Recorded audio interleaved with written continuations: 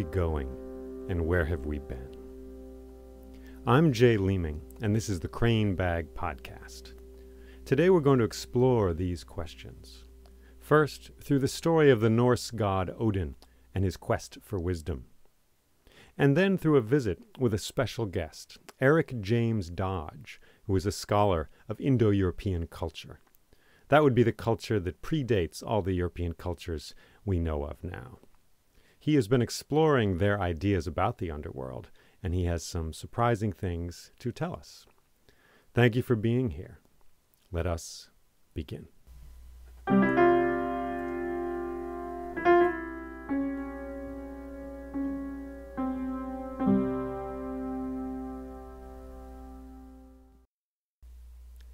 One night, the god Odin had a bad dream. He dreamed that he was trapped inside a cave of red stone. But as he examined the walls, he found that they were soft and wet. And as he looked more closely, he found that he could see through those walls to the other side. And what he saw there was a forest of fir. And past that fir, he saw stars in the night sky. And as those stars began to go out, one by one, he realized that he was not inside a cave at all, but in fact inside the belly of a gigantic wolf. And a fist of darkness closed around him, and he screamed out, but that scream made no sound. And Odin awoke. He was in his royal bedroom, in his palace, in Asgard, the realm of the gods. His wife Frigg, the goddess, was beside him, still sleeping in the bed. The birds were singing their first songs. Odin stood up and he walked out of that bedroom and through his palace. And he went up a spiraling stair to the highest tower of that palace. And he came out to the top, and there was a throne there that was open to the air. And he sat in that throne, and from there he could look out upon all the nine worlds of the universe. There were apples on the trees of Asgard. The sun was just coming up, spreading its golden light over everything. The green grass, the pear trees, the beauty of that place was resplendent and glorious. And then two ravens came and perched on his shoulders Hugin and Munin, thought and memory. And he gave a command, and they spread their powerful wings and flew off and through the nine worlds. And Odin went down from that tower and had a lovely day there in Asgard with the other gods. All of them went to Gladisheim, the hall of the gods where they meet and sing songs and argue and tell stories and pound their fists on tables and drink mead all day long. But as they did this, the two ravens, Thought and Memory, flew through the nine worlds, and they saw all they could see, and they heard all they could hear. And when that day came to a close, when the wonderful sparkling raindrop on the edge of a leaf that was that day. When that raindrop was finished, when the day was over and the sun was going down, Odin returned to that tower and to that high seat on the top of that tower. And the two ravens came and landed on his shoulders. And in raven language they spoke to him of all they had seen and of all they had heard. And one said, I saw a woman walking with a sword through a field. And the other, I saw a boat in a harbor, and it was on fire. I saw an apple tree in blossom. I saw forty men singing in a room. I saw a cow giving birth. I saw a great wind blowing a bush across a desert. I saw a woman opening a chest, and inside was a necklace the color of blood. I saw a sprout coming out of the dark earth into the light. So they told Odin everything they had seen. But nothing that they said explained to him his dream, or told him if that dream was in fact a truth, a real thing that would one day occur, or if it was simply a silly fantasy of the night. And so he stood up from that high chair and walked down the spiraling staircase of that tower. And he went to the door of his palace and took his staff from its place beside the door. And he walked out and looked at the grass of Asgard, at the trees and the palaces there. The sun was going down. And then Odin began to walk.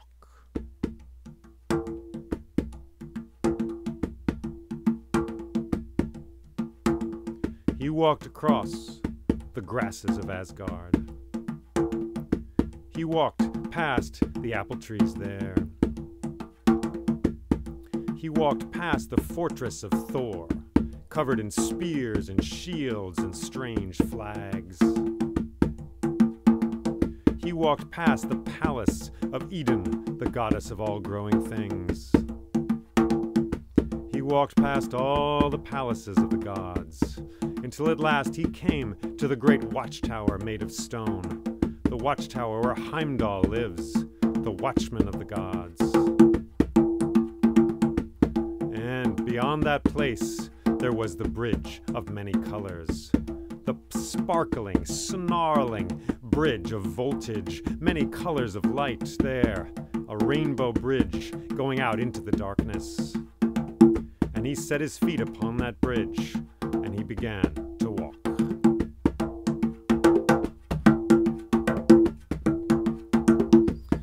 bridge snarled and sizzled beneath his feet. And the stars far off hissed in the sky, and the darkness itself swarmed and gathered and spread itself out, coiling itself around the stars. He could hear the wind of the universe whistling in his ears. So he crossed that great bridge. And then that bridge came down to the ground. And it did so in a forest of oak trees in Middle Earth, Middangeard, where all of us live, with our coffee and our wheels and our broken spoons.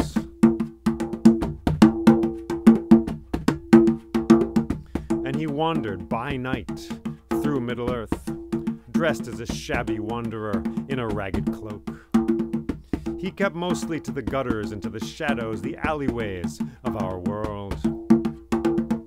And sometimes in a village, three rough men, warming their hands over a fire they'd made out of a broken chair, would be joined by a fourth, a traveler with a long beard and a gray hat.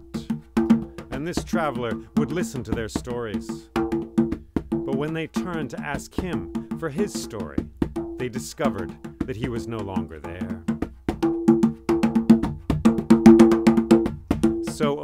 Wandered through Middle Earth, listening, asking questions, and listening some more.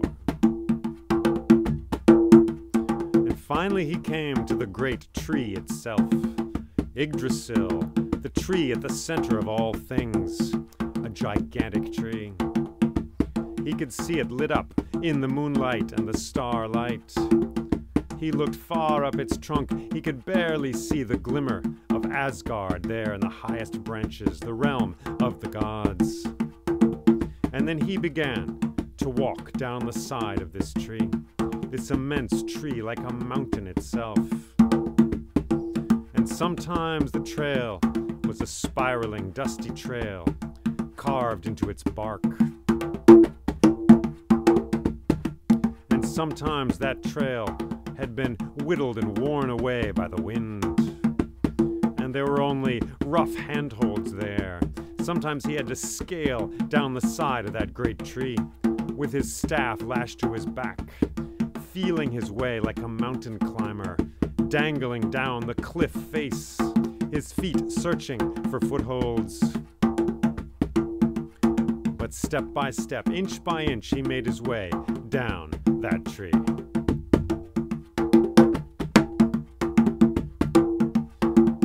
As time went on, he went past the realm called Jotunheimr. Jotunheimr, the realm of the Jotuns, the frost giants. And he passed the realm of fire, Muspel, and the realm of the dwarves, that mountainous place, and the realm of ice as well. Until finally, he came to a dark and tangled place. He came to the roots of that tree, like a thousand riddles, spewing and tangling themselves out into the darkness. He followed one of those great roots, Down and down it went, curling like hair. Like the end of an old story or a new story about to happen, about to sprout into the air. Down and down he went, curling and spiraling around, following that trail. Until finally, he came to a realm of darkness and of water. He came to a great cavern, and he could hear the sound of dripping water. There was a great cave there, and there was a pool of water there. And slowly he walked to the edge of that water.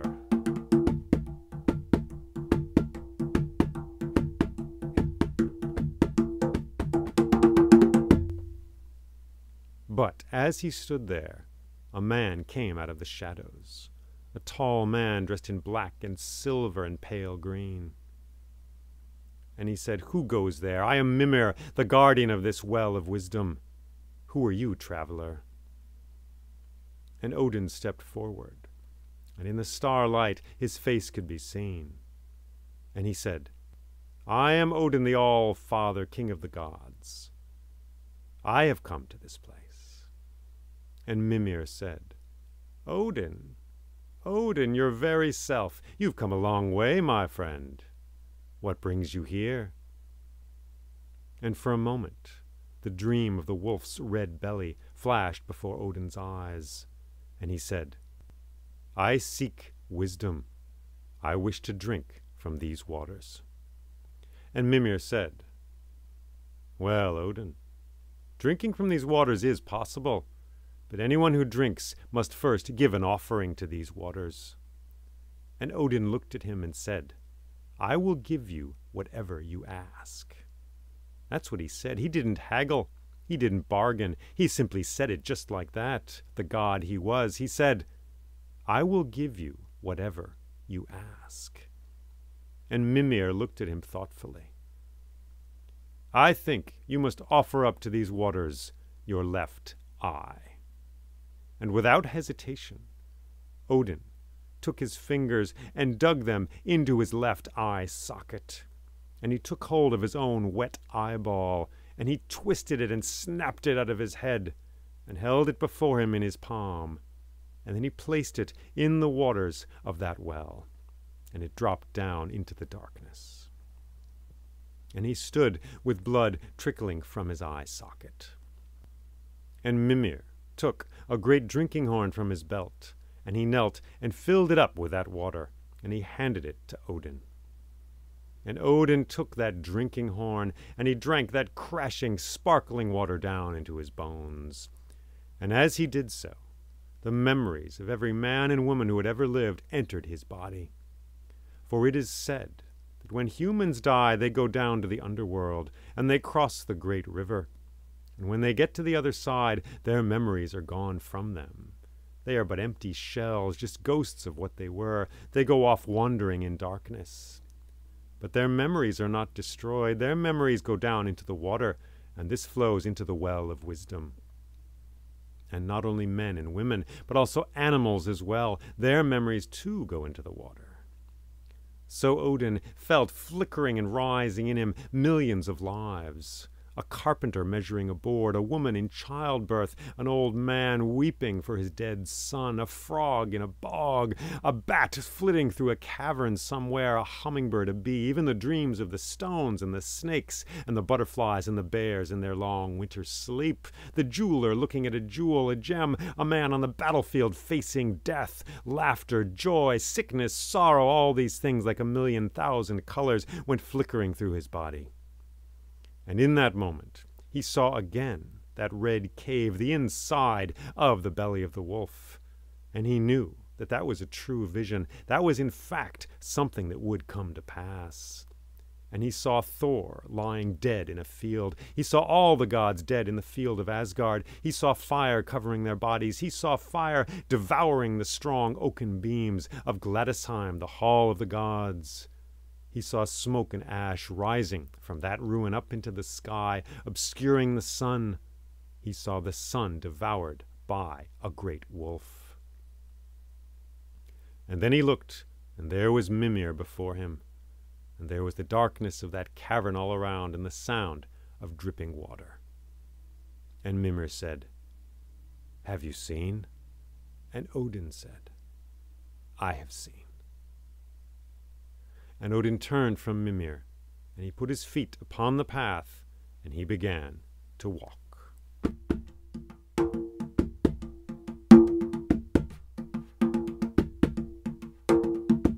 And once again, he followed a great root of that tree.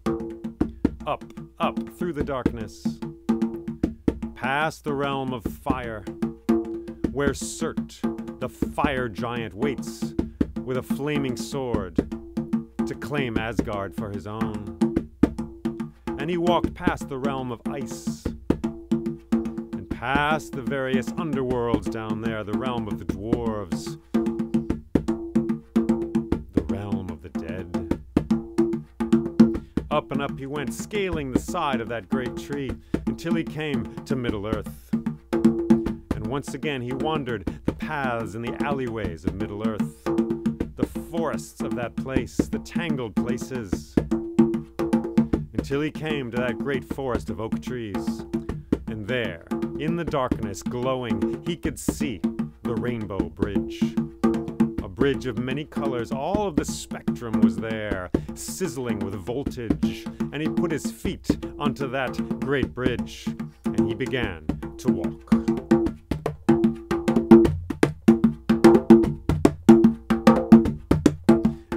Again, the stars hissed in the darkness and sang their old songs. And the fresh darkness itself spewed and rambled and writhed around the world, cradling each star in its mouth. Forward he went over the snarling bridge, and then, in the first light of dawn, he saw the Tower of Heimdall. For the sun was indeed rising and spreading its pink light over the world.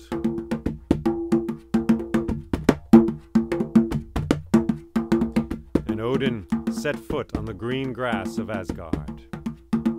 The birds were singing their songs. The apple trees were bright with apples. It was morning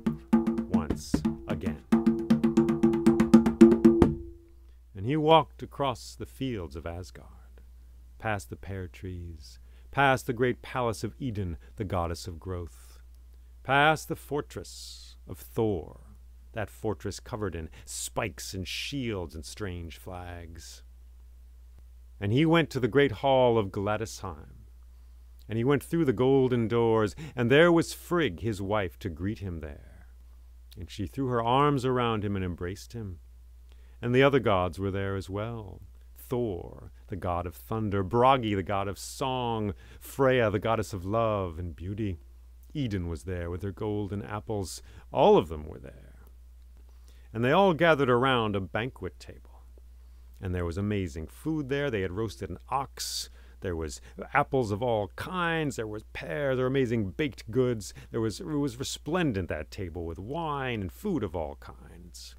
And the candles were lit, and they shone in the eyes of the gods and the goddesses there. And Thor said, Odin, we must have a toast. And Odin stood up and held his drinking horn in his hand, and all the other gods stood up as well. And Odin looked at all of them, and for a moment, as he looked at the brightness in their eyes, he remembered again the clench of the wolf's belly around him, and he saw again the ashes of that very hall of Gladsheim rising up into the sky, obscuring the sun. He saw Thor dead in a field. He, say, he saw all of them devoured by fire, their bodies consumed, turned to ash. But he looked at them now, their faces bright with happiness, glad to be there, the candles shining bright in their eyes. And he said, A toast to this moment. And all the gods answered him with their voices, and they drained their glasses, and they sat down to a wonderful, fantastic feast.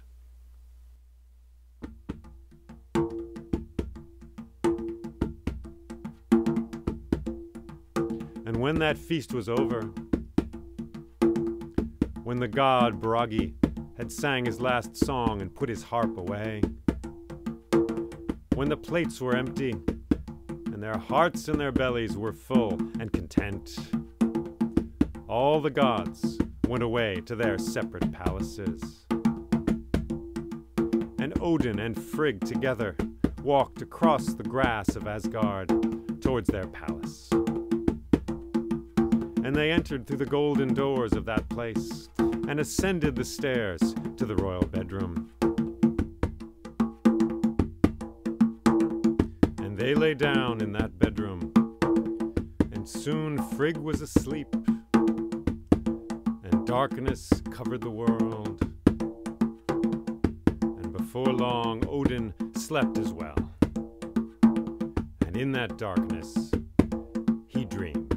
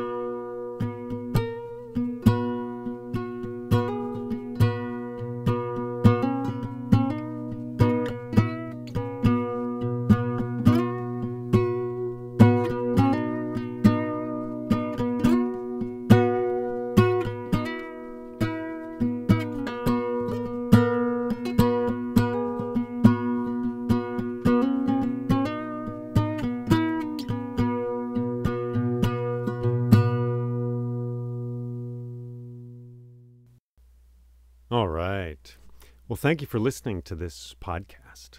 Thank you for listening to this story, attending to this story, which is like a small flame. But if you cup it in your hands, if you shelter it and give your breath to it, perhaps, it will grow into a larger fire by which we can see many things. By that firelight, we look around us and we see, perhaps, where we are. And where are you in this story? That's the question.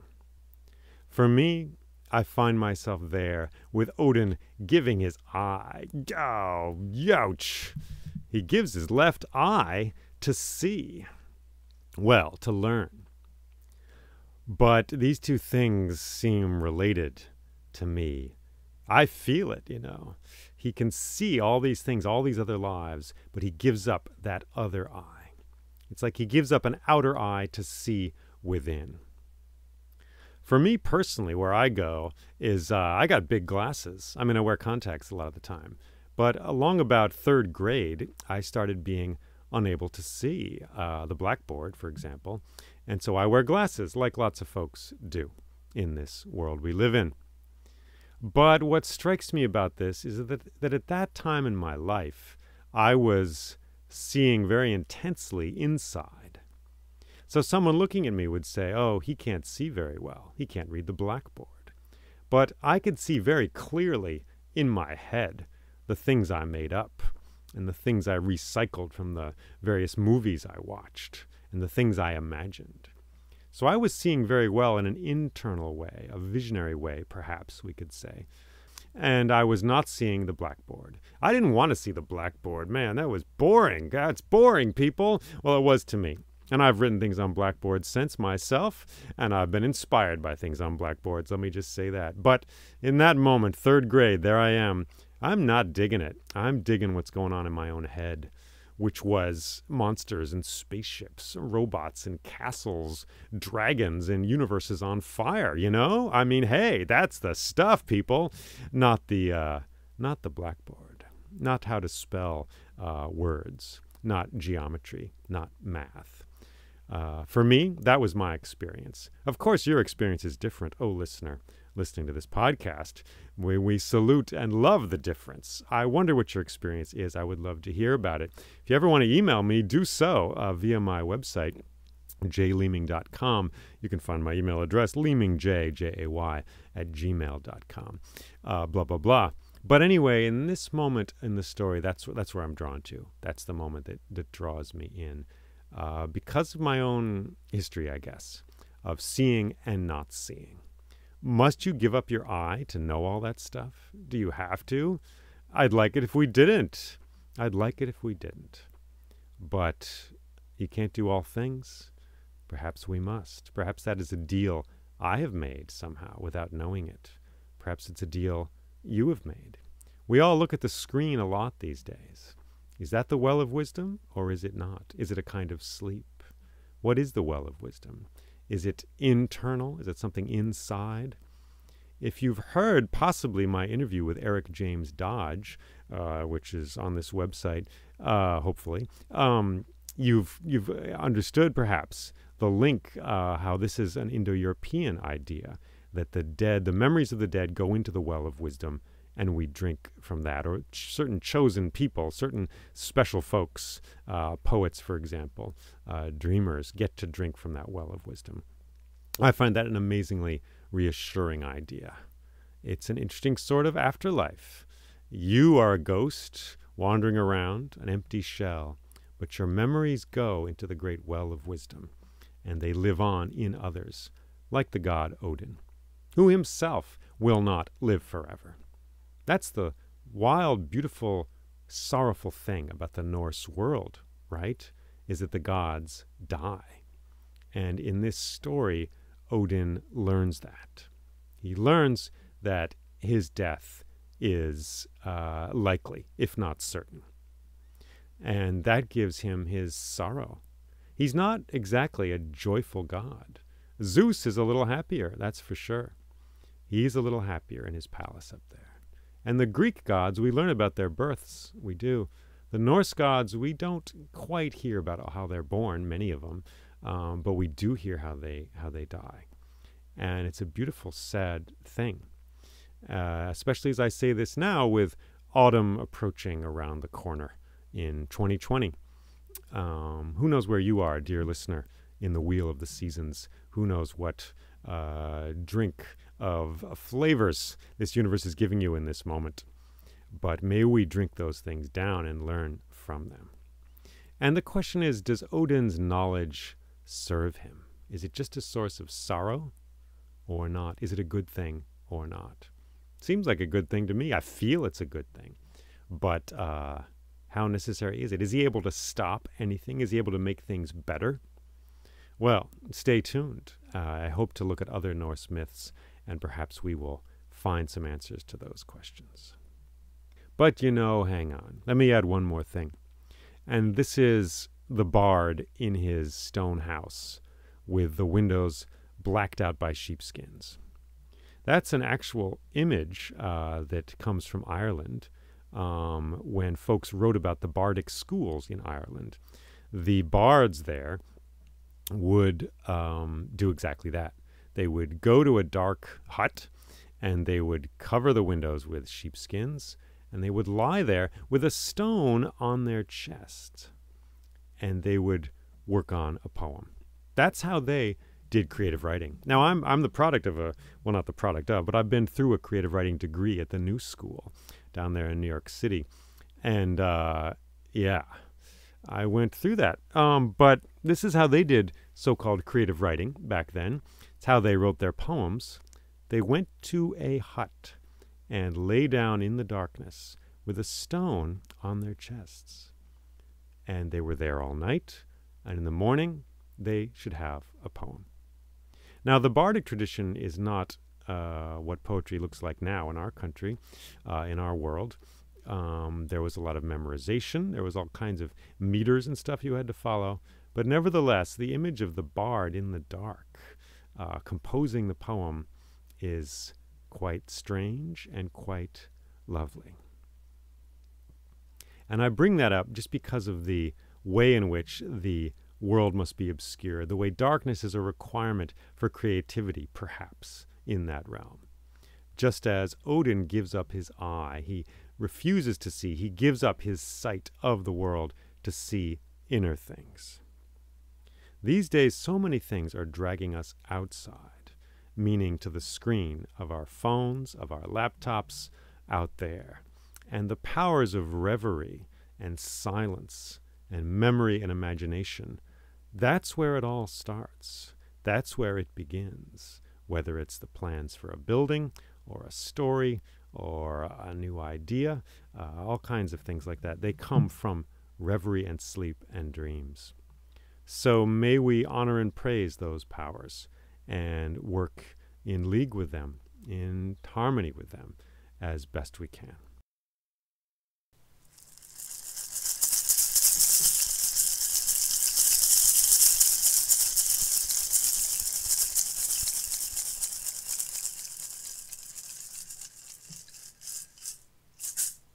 So now we're going to approach that realm of reverie and sleep and dreams and of ultimate knowledge from a different angle uh, by speaking with Erick James Dodge, who is a student of the Indo European culture. That is the culture that predates all the European cultures we are familiar with in the present day. And he has been exploring their vision of the underworld. And I spoke to him some time ago, and here is an excerpt from that conversation. Let us go. So you've been studying a lot of things, but um, in particular the Indo-Europeans, which uh, are the folks. Well, you can tell me better than I can say, but the folks who lived in Europe way back. Let's just put it that way. Mm-hmm. Um, what what inspired you to to study them, and how did you come to that? Uh, what's the background that brought you there? Well, I grew up reading a great deal of history and a great deal about uh, myths. And you know, like all other students, I've read um, Edith Hamilton's mythology, and I started noticing that there were patterns that, you know, while Zeus has a thunderbolt, so does Thor, and so does the Vedic or, you know, old, old Indian uh, Indra. They all have thunderbolts. And it was only in t- it was only when in college at the University of Houston for my undergraduate, I was in the classics department, and one of my professors, the head of the department, Casey Dué Hackney, um, she had worked at the Center for Hellenic Studies, which is a, a, a department in Harvard under a scholar named Gregory Nagy or Gregory Nagy, but it's spelled N-A-G-Y. And she introduced me to the academic discipline, the, the, the rigorous um, and long standing um, academic discipline of Indo-European studies, which mm-hmm. basically um, looks at, it was originally a language group. So all of the languages of Europe, all the languages of um, well, uh, the Avestan of the Zoroastrians, which is in Iran, mm-hmm. and Sanskrit in northern India, especially, and the Vedic, old, old Sanskrit, Sanskrit, as well as some various outliers like Tocharian, that's way out in China that we know very, very little about. Mm-hmm. Um, all of them are related, and they go back to, we believe, a single language. And along with parallel to this language, there was a group of people who we've now known because of genetics were in some ways connected along the patrilineal line. It's called your Y haplogroup. They were marked by the Y haplogroup R. Um, it gets complicated and you can't make generalizations. And these people varied, you know, the diversity of them very high, um, especially because they're so spread out. They intermix with different people and they're not really, they originally weren't a, really a single people. They were a variety of different tribes around uh, Ukraine, north of the Black Sea around the steppe, Pontic steppe area between there and the Caspian Sea. Mm-hmm. And there were a bunch of different tribes and they kind of conglomerated over time. And with the domestication of the horse and metallurgy, they kind of solidified into like this vague group culture, like the Scythians, how we think of them as kind of this vague area on the steppe. And they, around 3000 BC going forward, um, started moving south and to the west into Europe, into Iran, into northern India. Um, and what's interesting about this is that we know nothing about them, almost nothing about them, except their archaeological remains and whatever subcultures, whatever sub branch broke off and established themselves in Greece or in Rome or in Germany, so forth. Those are the cultures that we know directly about and we have written records about, but we have no writing from these people. They're entirely oral. All of their history was told by poets, handed down. And memorized, like the Iliad and the Odyssey. Those were poems which were memorized. They had various ways of doing it using epithets and formulas, but essentially they were memorized. And uh, a lot of it was lost. Um, and it's really up to modern scholars, and it has been over the past 200 years. Um, originally, it was called Indo Germanic Studies, but now they call it Indo European Studies, which is a bit more kind of, it's a better phrase to describe it um, it's up to modern scholars to reconstruct their languages, culture, religion, everything about them. And so uh, Casey Dué Hackney at the University of Houston introduced that to me, and it's just captivated me ever since I learned that two years ago. So a lot of your work in in connecting with these cultures is uh, linguistic primarily. Yeah, I, so the discipline was founded in linguistics. So pater, pitar, father, they all sound similar. The Indo-European, Proto-Indo-European words for water was something like woder. Mm-hmm. Um, their word for um, waste was kaka. Uh, their, their word for mother is basically mother, it, and then father is pater, brother, swestor, um, and so forth. And so they, you can see how, uh, you know, how far back a lot of these terms go. And so that's where it started with linguistics, and then it kind of the social anthropologists got a hold of it, and religious studies people got a hold of it and started bending it towards trying to reconstruct what the religion is, looking at rituals, looking at um, more than just individual words, looking at formulas, looking at narrative patterns. And then also folklore comes into play. There was a lot of recent work done on what they call Indo European folklore, which it gets complicated because folklore is, is so amorphous, it's so, you know, it's hard to pin down. But there are a lot of other things besides just words that we can reconstruct. And, uh, but yes, it, a lot of it is very linguistic. And if when I did my thesis for my undergraduate, a lot of it is rooted in linguistics. Hmm. Well, uh, thank you for laying that all out. Um, for me, I'm inspired by the uh, desire to find a, a, healthy relationship to the earth, of course, because these days things are kind of a mess out there, as many of mm-hmm. us are aware. And um, of course, many cultures have deeply rooted connections to the earth uh, that are very inspiring. Uh, mm-hmm. myself, being descended from a variety of European cultures, uh, I'm curious about the uh, Indo-Europeans because they seem like the the ans- they are the ancestor ancestors of European culture primarily. I think that's correct to say. So mm-hmm. I would wonder. I mean, in your recent work, what um, what have you learned about their relation to to death and to the underworld in particular? perhaps mm-hmm. you could say. Um, and yeah, you're you're right in saying that they really are the kind of the main European, you know, quote unquote, because there were basically three different groups in Europe throughout history. There was the um, uh, native uh, Paleolithic hunter gatherers, and then there was the Neolithic agriculturalists, the farmers who came in later, and then the last was the steppe people, uh, the Indo-Europeans, and you know filtered through the Bell Beaker culture. If any of the listeners know a little bit about archaeology, and so the thing is that the uh, in certain areas like in britain like 90% of the, the, the native population was totally eliminated and the neolithic dominated all and the neolithic peoples rather they dominated all of southern europe and um, nowadays if you look at europeans they're mainly a mix between steppe and farmer and so people in northern europe and especially scandinavian people have a lot of steppe and then people in the south have more uh, neolithic farmer types, uh, percentages of their, their overall um, autosomal genome. So, uh, so it is really kind of a, a, big part of our cultural consciousness. Um, as for the earth, I'd like to mention that they, uh, there's a lot of different gods you can reconstruct for the Indo-Europeans, and one of them is uh, Earth Mother. Mm-hmm. Her name was Dagom Mater, and humans were a derivative of the first term, but they, they were called earthlings. And so we are children of the earth, of the mother.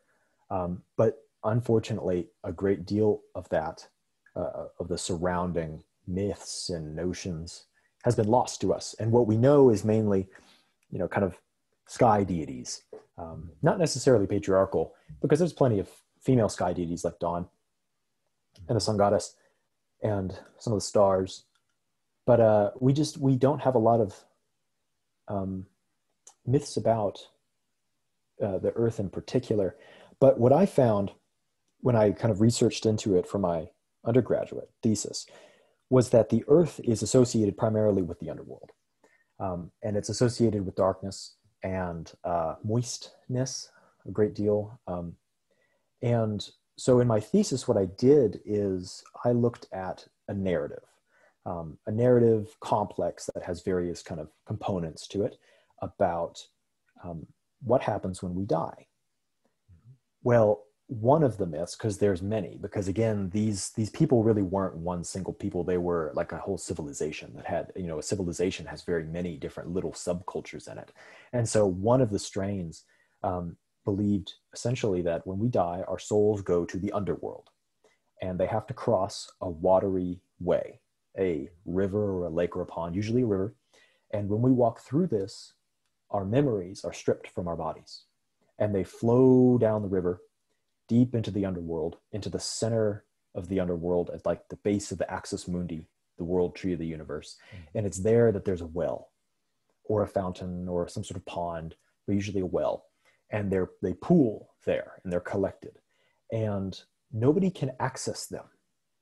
What happens is our bodies continue across the river. They go across the river, they get on the, the far side bank of the river, and they go off and they may be reincarnated. Um, work still needs to be done on that aspect of it. But what I figured out was that there are certain, well, uh, what one scholar, Bruce Lincoln, who I based a great deal of my work on, um, but I expanded on his work. That's he wrote an article, and then I wrote this thesis. He wrote the article back in the '80s, and this thesis was a response um, bolstering his argument. And I found certain little extra bits here and there that tacked on to the main myth, which he figured out was this: that there are certain people that can access these memories, and primarily those are the poets. Also, some warriors and kings, but it's mainly the poets who are able to access this through trance or through dreams or through you know altered states of consciousness and uh, can extract the memory and sing them through song. And they can live again in our in his telling and in our hearing of the story um, and it's a religious ritual um, you know when you read the beginning of the uh, homeric poems or the Aeneid or et cetera et cetera it always starts with an invocation, O muse, O memory. Sing us this song, sing through me. Um, as if the poet's not really doing it. It's, it's the memories that are going through him. So I think that's, that's, that's the kind of the gist of it. There's other little things we can get into uh, yeah. later on. Yeah. Thank you. But, I think uh, that's the main reason that, um, uh, that, that connects our work is, is the, the, that the Indo-Europeans had these stories of traditional myths, these narratives, these religious rituals of poetic storytelling, um, which we have lost almost all of. You can go to you know some parts of Eastern Europe a hundred years ago, and a little bit still today. You know, maybe go to certain um, countryside in Greece and find remnants of this. But through you know the modern world, in all of its economic systems and its all of its philosophies and its materialism has uh, made us forget. Uh, we, we've we've you know not done our duty in in telling these tales, uh, and uh, we're not. It's not for the better for our culture. The river of forgetting is now called Wi-Fi, perhaps, or I don't know. Yes, yeah. Television, something, movies, something like that. Yeah, it mucks up our consciousness. yes. Well, uh, thank you so much for laying that out. Uh, what struck me right away as a storyteller is, you know, I've told the Orpheus myth and I've also told mm-hmm. Norse myths, and um, the connection, almost like an electrical connection between these two uh, stories. Uh, and it's where the um, the dead they cross the river of Lethe and they forget their lives. But then knowing that those memories go somewhere and uh, serve a purpose and are not just lost is tremendously reassuring and inspiring because um, mm-hmm. then I conceive of Odin, as you lay out in your thesis, as one of the fellows who would um, drink from the well and and learn wisdom. So so for me, I just find that great. You know that our it's uh, it's a reassuring view of the cosmos in which our lives are not lost forever, but are part of the wisdom uh, that uh, poets and the future will draw on. Um, in your thesis i think you lay this out but the the poets now they got to go down there. That's the trick. You know you can't just uh, you need to descend um, and you need to go into trance of some sort you're saying but they go down and they come back right? It's not as ghosts that they speak to our culture. They come back alive. Is that mm-hmm. correct yeah that is they, they are they are unique um, and there's various uh, a lot of the time it's hard to make generalizations because the way the proto myth uh, descended and evolved in various um, cultures, it's they they are almost totally different, but uh, they do have common threads. And so the idea is that they they may go to a, special location. They may um, put themselves in a certain state of consciousness, like sleep, or uh, lull themselves into thinking about memory through the music, and it, it sparks um, not inspiration, it, eh, but sparks memory. Um, I, I'm not sure that the modern kind of individual creativity notion really applies to their worldview. It's it's very much that they build off of the old. When you look at the poems themselves, they describe the poet as number one, singing the imperishable fame. In Greek, that's the kleos apathetion. In Sanskrit, that's the shra avash ashitam, akshitam. Nice. Let's hear those words. I love the music of it. Can we just oh, hear right. Yeah, I can say it again. Uh, so the Greek is the kleos apitheon, Mhm. and the Sanskrit, I don't know Greek, so I might be butchering that, but uh, the Sanskrit is shravas akshitam. All right. Thank you. And originally it would have been something like kleos nigutitam. And it means, means imperishable fame, and it has to do with warriors, but it's not just warriors, like I said, like if you look at Greek plays, um, you'll find Medea, who is described in very similar formulaic language as you know Achilles or other characters. Um, but it is fame. There's a wonderful little poem in Old Norse that says, "Cattle die, friends die, and you're gonna die too. But the only thing that doesn't die is fame, well known." Which That's that really gets to the point of how they how they viewed history, which was as this um, primarily oral and popular you know, Mhm. a, a popularist kind of um, thing. We should, I'm sorry to jump in, but we should mention, of course, that, I mean, a poem uh, back then was something which happened. It was an event. I mean, that's Mhm. just to, to clarify that it's not, as you said, it's not something that's it's saved on paper forever because it's not a written culture. It's just an event which happens and the, the poet, but also the listeners are at the center of that event. And then it passes and maybe there'll be another happening later on, but it's not something preserved except as it is preserved in memory, I suppose, you know, as you're saying. Mm-hmm. And they, uh, you, you know, that the audience would have said, "Oh, tell us the sad story," or maybe they get really drunk and they're like, "Oh, tell us, tell us the really violent, bloody part." Mhm. and maybe maybe make it more bloody than last time. Um, or let's do the romance part and let's make it a little spicier than last time you know? So the, the poet um, is kind of this on demand always kind of present at the court um, ready to fulfill the the um, kind of the entertainment of the listeners. And also um, it, it's not always linear you know? It's not like like i say the textuality gives this impression that poems have this like beginning you know it, like this section off kind of I don't know outline kind of form, but the the way that they it would have been a little more fluid. The beginning and ending of things, the the way that they block text off, Mhm. block the stories off. Maybe they change the story a little bit if they want to reflect, you know, something particular about the king that they're serving or to fit their audience. So yeah, it was very much something that happened to people. And um, the uh, Indo-Europeans, so their conception of the underworld, you go down, you uh, lose your memory, but it goes to the well of inspiration. Um, Mhm. And um, certain people can drink from that well. And um, so is it, uh, and what, and those certain people, they are trained poets, but um, you know, so there also there's also a certain amount of um, maiming and bodily trouble involved in this role, is there not? Mhm. Like, uh, yeah so this is the really fascinating thing and so my interest in this aspect because i mean just to mention a few other things um, the poets they would describe the poetry as f- the forging of a, of a weapon basically a forging of the words like metallurgy Mm. um, it's you know well there's various versions um, or the uh, crafting a song like a, like riding a chariot or going back to the penelope character earlier the poet weaves it into a garment um, or harnesses the song like a chariot again. Um, there's different very di- many different phrases. Um, but one kind of minor thing which i noticed and started with odin because odin he's this really interesting character who is this whole mishmash of different cultural influences from not not just Indo-Europeans, but he has a lot of um, like uh, Sami and Finno-Ugric influences as well. Hmm. Um, and so one of the things he does is he goes down to the well of memory to Mimir, Mimir's well, and he gives one of his eyeballs and he put it puts it into the well as a sacrifice. And that's why he's one-eyed, right? So he can see the past. That's the price he has to pay. Yeah, yeah.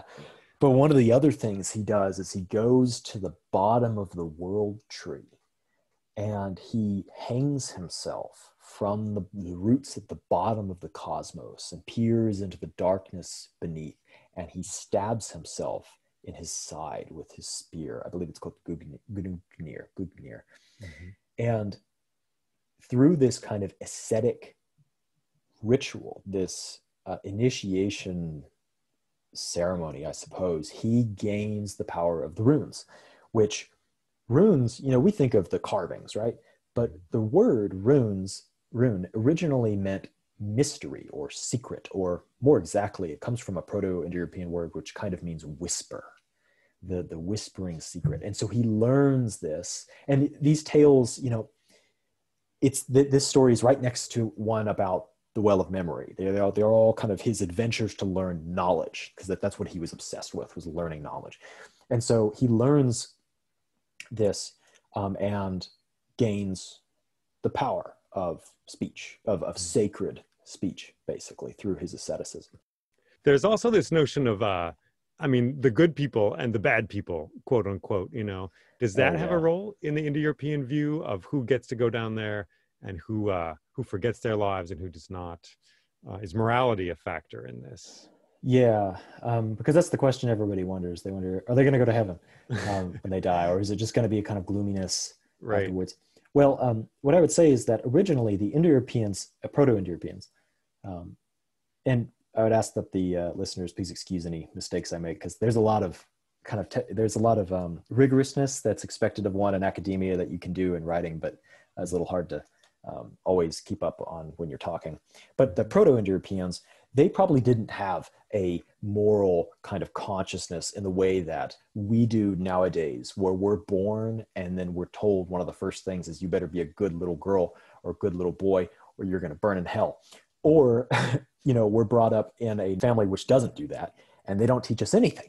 And so we, we, we don't have any notion of morality other than popular opinion uh, and materialism and like maybe the good for the greatest number, but that's about it. But for the Indo-Europeans, what they had was a uh, fixation on fame and on renown. And that's not always moral. A lot of the Greek heroes, a lot of Celtic heroes, are, and all sorts of uh, Sanskrit heroes are not good people. They murder people indiscriminately on the battlefield. They go into um, terrifying trance states where they become wolf men and bear men. And they, one of them, I believe it's Cuchulainn in the Irish, he uh, would become such a raging berserker, such a bane from Batman that he would turn on his own troops.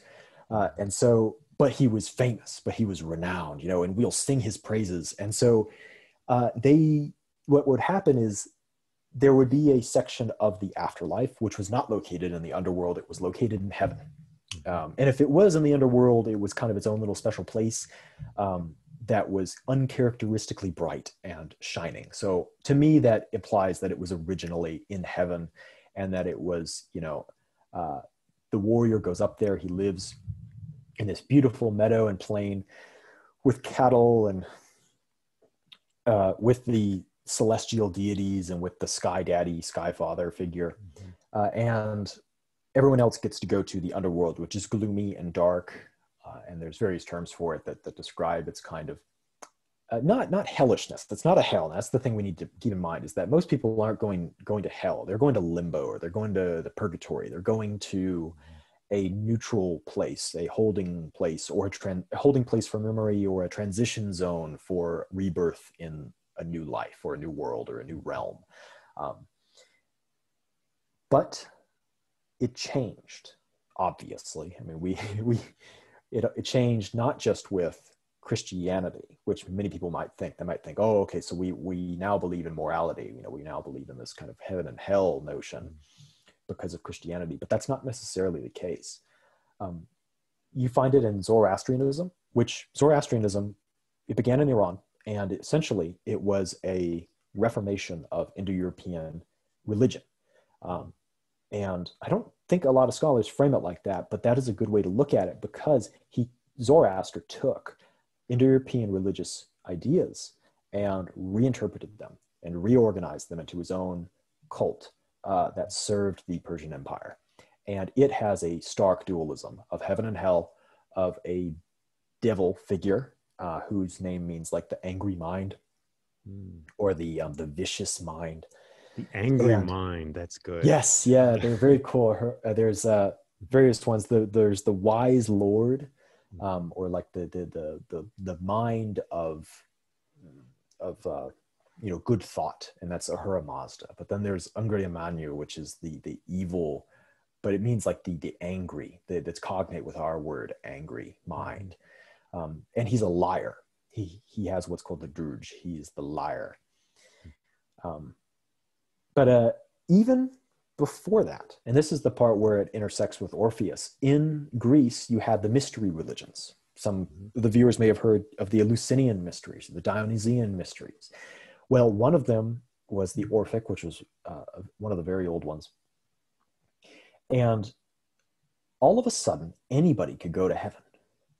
Anybody could because the idea was that, like I said, in the Proto-Indo-European conception, everyone lost their memory when they crossed the river of forgetfulness.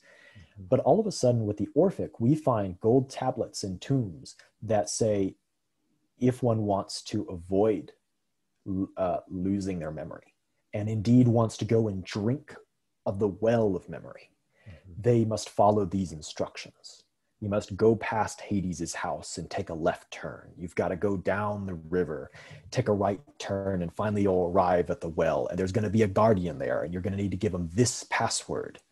Mm-hmm. Um, you find this notion of passwords, it reoccurs again and again. Here in America, we have um, Mormonism, and uh, in kind of traditional Mormonism, they have to learn passwords uh, to get into heaven and certain handshakes and all sorts of stuff, which comes partly from um, Freemasonic influences into the into the religion very early on.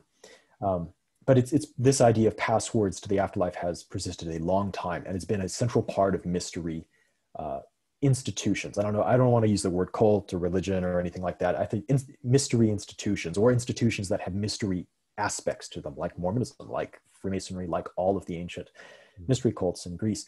And so um, these these people that had these gold tablets the Petelia tablets. One of them is called the Petelia tablets.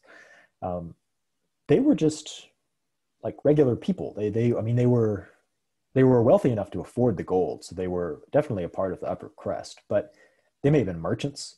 Um, who know? I, I need to read up on who they were exactly, but they they were not uh, your traditional kind of temple initiates like the Eleusinian mysteries or so forth. Anybody really could be an Orphic.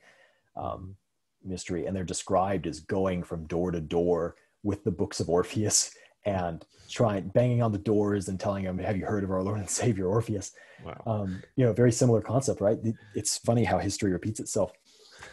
But, but, but to go back to your question, uh, for them, they could attain heaven then, and it was through not renown, not fame, but through the following of Orphic precepts um, mm-hmm. Orphism is connected to things like vegetarianism, mm-hmm. uh, certain sexual morality, a mm-hmm. purity of life, notions about killing and so forth. Um, and so if you follow these precepts and you know maybe if you pay your dues to the religion uh, then you'll get to know the secrets of the underworld. And but it's not a big radical change. You can see how it, it developed off of old ideas and just kind of rearranged them and opened them up a little bit. Mm. And it wasn't until the ultimate mystery religion, the the the penultimate one, Christianity, mm. that everyone was able to become a part of the mystery and become part of the um, you know the road to heaven and have a mm-hmm. kind of moralistic and very dualistic view of it. All right. Well, we're going to take a short break, and here is some music from Iceland, of all places. Iceland, the source of fire and ice, the place where Snorri Sturluson wrote down all the myths he knew uh, back in about 1200, and the place which has generated music such as this. Fagra kvelið gillir grund, glatt með þelað vanda. Nú því gel ég ringa rund, áttinn vel stíganda. Misjafn rómur mærðar er, misjaft dómar falla. Syngja óma haukar hér, hrafnar og lómar gjalla. Misjaft kjörin mærðar hljóm, metur fjörug þjóðin. Syngur hver með sínum róm, svona gjörast hljóðin.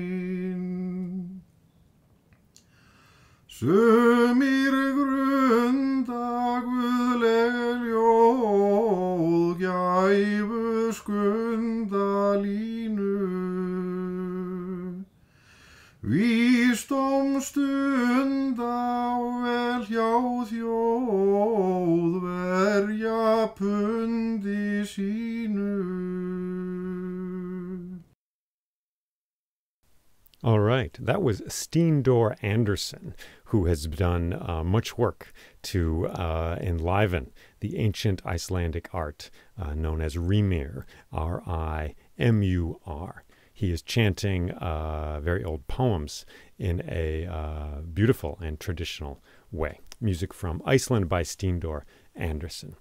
Well, we are talking to Erick James Dodge, a student of Indo European language and culture. And let us get back to that. I love all these ideas. Do you feel they can help us understand who we are and where we're at now? Or is it just a really interesting trip to an essentially alien world? Well, that's that's a thing that I've thought a lot about in my personal life.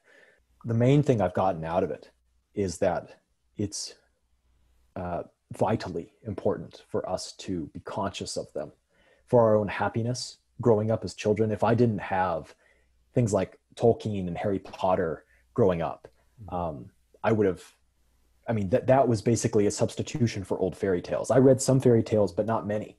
Um, but I'm so happy that I was able to experience Tolkien and Harry Potter and things like that because if I hadn't, I mean, I would have lost out on the the, the collective consciousness of, of our of our being. Um, I I would have been fed basically just modern garbage, um, and not only for children, for adults, uh, knowing that we have some sort of connection, whether it's mediated by a poet or a shaman, um, we have some sort of connection with our ancestors and with memory and with time that we have some sort of uh, context to our existence um, that isn't, you know, terribly uh, demanding on us and isn't this constant guilt or sense of shame or sense of um, tension that I get from personally I get from Christianity. I'm certain there's many people that that feel the opposite, but for personally for me, I get that feeling. Mm-hmm. And so uh,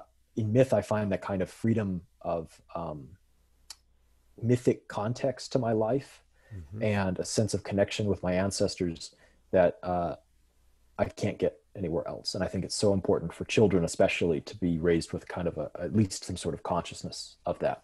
Mm. I think Europeans have a little bit more of that, especially like Northern Europeans. I know there's a lot of people that were raised with, you know, stories of, you know, Norse myths or uh, Slavic uh, myths in Eastern Europe um, that we just don't get here we don't have a sense of history here as much in the United States. We we have such a disconnection from, like you said earlier, from the earth, from our ancestors, from any sort of mythic context, mm-hmm. um, that it's really important for us uh, to put that effort in for our children, uh, so that they can pass it on.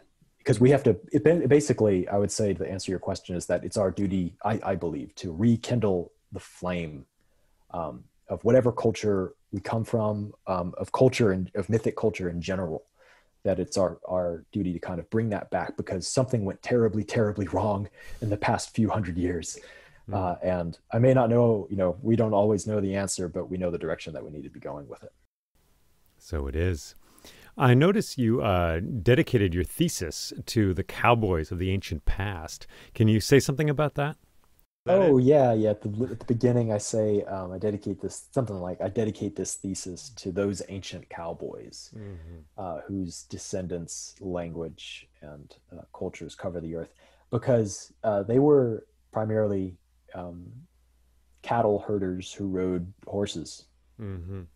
and they i mean they have myths about putting horseshoes on your door to protect it which Mhm. you know my great grandparents did in kansas Yeah. so it's very old traditions that have Mhm. come down to us Yeah, yeah. and, it, and the cool part about that is that they've been reborn Mm-hmm. here in america because they kind of died in europe i mean a lot of people weren't cattle herders or, or you know horse riders unless they were part of the aristocracy or like Mm-hmm. people in Spain. Like, but in America, with the frontier people who lived in sod houses, like my great grandparents, uh, in you know Kansas, Nebraska, Nebraska, Oklahoma, um, all of a sudden that kind of really ancient aspect of our culture was rekindled again through American culture. I've been speaking with Erick James Dodge, a student of Indo European culture. You can find his work online. His first name is Erick, E R I C K, James Dodge. And you've been listening to the Crane Bag Podcast. Thanks to the Patreon supporters who help make this possible. If you're able to join them, please do so, uh, because we want this to keep happening. Things happen in stories and they happen in the world. And sometimes those are the same thing. And this podcast has been happening, and we want it to keep on happening the way a river happens, the way a bird happens over a forest. And the sun and the moon happen each day to us, standing here in the wild turf of our lives in this moment. Thank you for listening and take care. And I should say, oh, before I say take care, there is more stories. There are more stories at jayleeming.com, J A Y L E E M I N G.com. Thank you, thank you. Remember the egg at the center of the universe. Take care.